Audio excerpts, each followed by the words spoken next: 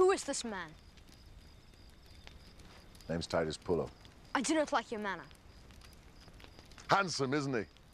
What news of my mother? She's dead. Killed herself.